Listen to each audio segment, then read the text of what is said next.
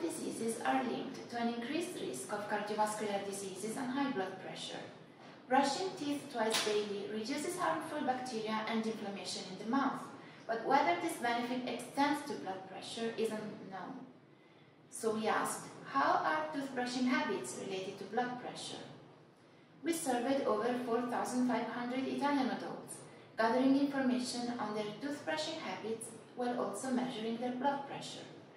People who brush their teeth at least three times a day and those who used electric toothbrushes had lower blood pressure than those who brushed less frequently or used manual brushes.